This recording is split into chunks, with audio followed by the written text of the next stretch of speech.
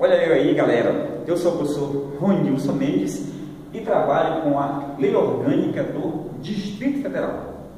Pessoal, a Lei Orgânica, como todos sabem em Brasília, todo e qualquer concurso da administração direta ou indireta é cobrado a Lei Orgânica, tá? Então, seja fundação, autarquia, sociedade de economia mista, empresa pública, órgãos, secretarias, tribunais, em Brasília é cobrado a lei orgânica do Distrito Federal. Então tá, então nosso estudo né, é voltado para te passar dicas, macetes para você.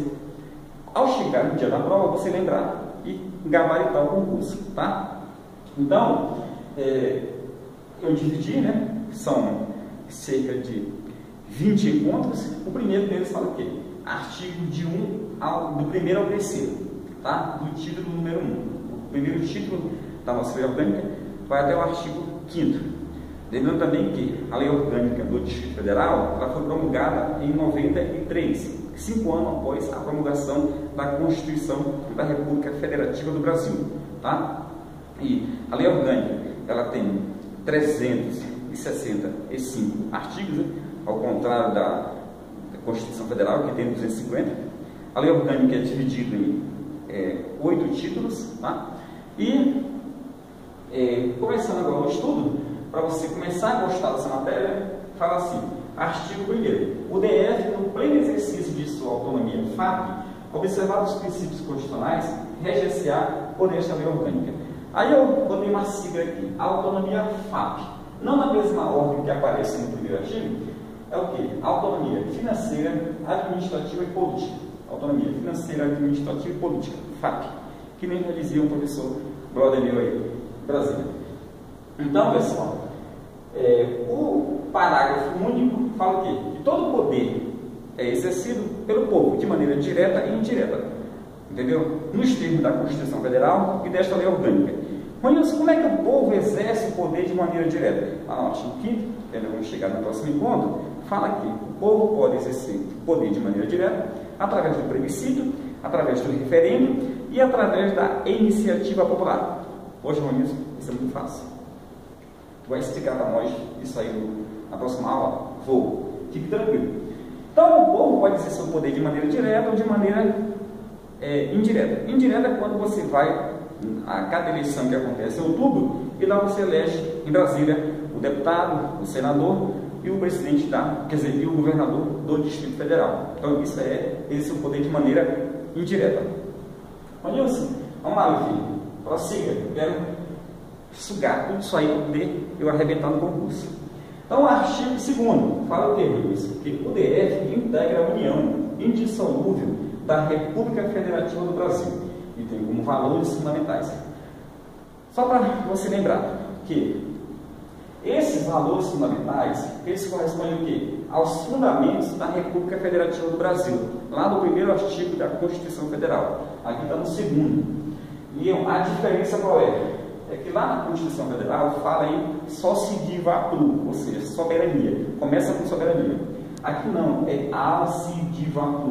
O que é isso, Wilson? É preservação da sua autonomia comunitária da federação, plena cidadania, dignidade da pessoa humana, valores sociais da livre iniciativa do trabalho e pluralismo político. Condilson, dá para te explicar um pouquinho cada um desses negócios? Tá. Nós sabemos que o DF possui autonomia FAP, financeira, administrativa e política. Então, ele que administra sem interferência de ninguém, ele é que administra suas finanças, ele é que elege os seus representantes sem intervenção federal, então isso aí é o que? Eu não que se à sua autonomia. É, uma palavra-chave que você não pode esquecer é que os estados que compõem a federação e o Distrito Federal não possuem direito de secessão. Ou seja, um estado do Brasil não pode falar assim, agora eu vou ser um outro país. Então esse direito não compete a estado nenhum, porque nenhum estado tem soberania, o estado tem autonomia. Cidadania é o conjunto de direitos e obrigações de cada cidadão, de cada pessoa, de cada um do povo. Não é apenas o direito de votar e ser votado, mas sim todo esse conjunto de direitos e obrigações. Dignidade da pessoa humana. Isso aqui, pessoal, é o princípio norte do ordenamento jurídico, é a dignidade da pessoa humana. Todos nós somos dignos de uma vida, todos nós somos dignos de vida, de saúde, de educação e tudo mais. Valores sociais da livre iniciativa do trabalho quer dizer que você tem a tua, uma prerrogativa de dizer, ah, eu quero ser servidor público, eu quero ser, é, eu quero ter minha empresa própria, eu quero ser empregado de uma empresa. Então você é que define o que quer fazer, entendeu? Você tem essa, esse livre-arbítrio. Pluralismo político. Então o Brasil não possui um partido único, como já aconteceu na ditadura militar. Então o Brasil possui o quê? Pluralismo político. Então, atendidos os requisitos da Constituição Federal, é, uma pessoa poderá fundar um partido político e, de acordo com o número de eleitores, poderá até ter representantes no Congresso Nacional. Não vamos nos ater muito a esse, esses detalhes. Então, é só para você ter uma ideia que valores fundamentais, está no artigo 2 é Alcidivaldo. Alcidivaldo. Mas isso vai o parágrafo do segundo artigo, meu Ninguém será discriminado ou prejudicado em razão Pessoal, aí eu botei aqui três palavrinhas que não querem dizer outra coisa. É, Cecim, Cetruc e DOC. Cecim, Cetruc e DOC. Isso são siglas de que ele se refere aqui. As espécies de discriminação que são vedadas na nossa lei orgânica, que é proibido. Então, olha só, ninguém será discriminado em razão de sexo, etnia, raça ou idade, nascimento. Ninguém será discriminado por, por características genéticas, por estado civil, se, tra se trabalho é rural, urbano, ou convicções políticas e filosóficas. Ninguém será discriminado entendeu, por possuir deficiência física, imunológica, mental ou sensorial. Ninguém será discriminado por ter escolhido morar com uma pessoa do mesmo sexo, que é aqui, ó, orientação sexual. Ninguém será discriminado por ter cumprido pena. Então, sabe que isso aí é muito questionado nesses concursos onde faz um exame da vida pregressa da pessoa. Um caso recente de Brasília foi o caso do é, que se tornou conhecido nacionalmente, que foi é, a queima, né, o assassinato do índio Galdino por um grupo de jovens na década passada e que um deles agora é, fez o concurso da Secretaria de Segurança passou, mas havia sido impedido né, no exame de sua vida pregressa por ter cometido esse, participado desse crime. Né? Aí o Tribunal de Justiça concedeu a liminar, mandando a pessoa tomar posse. Ok, pessoal? Porque não existe uma pena perpétua, já cumpriu a pena, então não será discriminado, segundo a nossa lei orgânica. Ok, galera? Vamos lá. Então, o artigo 3 fala sobre objetivos prioritários. Conheço? Esse artigo 3 corresponde ao mesmo artigo 3 da Constituição Federal. Mas o que é que fala nesse artigo 3 da Constituição da República? Pessoal, lá só cita o quê? Elenca quatro, é, só elenca quatro é, objetivos. Objetivos fundamentais. Aqui é o quê? Objetivos prioritários. Mas quais são os objetivos fundamentais? Ou pelo menos quais são as palavras com que começam? Lá na Constituição Federal fala o seguinte: Construir, garantir, erradicar e promover. Construir, garantir, erradicar e promover. Isso é na Constituição Federal. A sigla que eu coloquei foi essa, CONGAEPRO. Já aqui, no artigo 3 da nossa lei orgânica, não fala somente de 4, fala de 12. Ah, isso então agora pegou. Pessoal, eu te aconselho, te peço que você faça uma leitura meticulosa, pontual, repetidas vezes, sobre esse artigo 3 da nossa lei orgânica do Distrito Federal. Neste momento, eu vou te passar alguns detalhes sobre esses 12 incisos, tá bom? Para você chegar no concurso lá e gabaritar. Tranquilo? Vamos lá. Primeiro, o que, que acontece? Qual é o nosso primeiro objetivo? Então, eu elenquei os 12, não na mesma ordem que aparece na nossa lei orgânica. Então, o primeiro objetivo prioritário qual é? Preservar entendeu? os interesses gerais coletivos valorizar a cultura local, contribuindo para, de modo a contribuir para a cultura brasileira. Terceiro, garantir e promover os direitos humanos assegurados na Constituição Federal e na Declaração Universal dos Direitos Humanos. Pessoal, existiu uma Segunda Guerra Mundial, né, em 1945, quando terminou, e logo em seguida foi é, criado é, pelos Estados Unidos, lá na Alemanha, o tribunal chamado Tribunal de Nuremberg.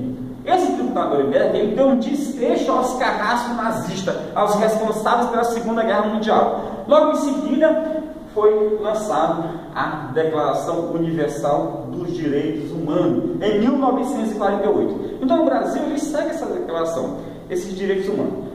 Ok? Então, é que no Brasil é proibido a pena de morte, exceto no caso de guerra declarada. Tá bom? Ok, pessoal? Então, tá. É, garantir a prestação de assistência jurídica integral e gratuita aos que comprovar a insuficiência de recursos. É um dos nossos objetivos prioritários do DF.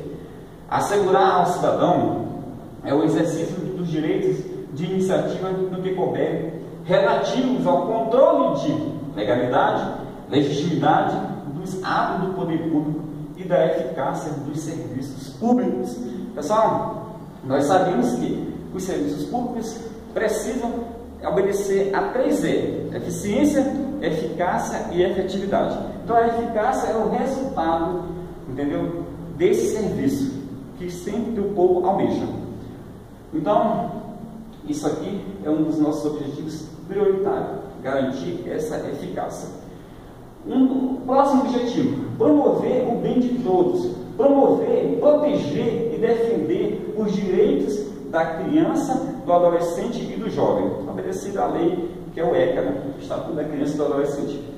Um dos objetivos prioritários é dar prioridade às demandas. Em quais áreas? Saúde, segurança, saneamento básico, trabalho, transporte, lazer, educação, moradia e assistência social, galera. Então aqui, ó, 3S, 2T 1 e um lema. 3S, 2T e um lema para você gabaritar esse concurso. Vamos acompanhando aqui com o professor Ronilson, Lei Orgânica, para você detonar os concursos de professor temporário, Secretaria de Saúde do Distrito Federal. Prosseguindo, nós temos como um próximo objetivo prioritário proporcionar aos habitantes condições de vidas compatíveis com os direitos humanos, justiça social e bem comum. O próximo objetivo é o quê? preservar a sua identidade, adequando às exigências do desenvolvimento a preservação de sua memória, tradição e as suas peculiaridades. Sabemos que Brasília é, é tombada pelo patrimônio histórico. Assegurar e proteger a vida e a integridade física e psicológica das vítimas e testemunhas de infração penal é um dos nossos objetivos prioritários, pessoas que, é, é, quando eu falo de vítimas, também inclui a, a família da vítima. Prosseguindo aqui, zelar pelo conjunto urbanístico de Brasília, inscrito pelo número 532 do livro do tombo histórico. Pessoal, lei orgânica sem segredo e com dicas é com o professor. Ronilson, o que, que, eu faço? Eu quero gabaritar nos próximos concursos. Quero fazer um curso com uma contigo. Então, onde você vai fazer? Ligue no 30422142. Inscreva-se também de maneira, quer dizer, inscreva-se gratuitamente no meu canal e você terá acesso a todos os meus vídeos. É só botar lá Ronilson Mendes e você terá centenas de vídeos que eu gravei para você gabaritar os concursos. Muito obrigado.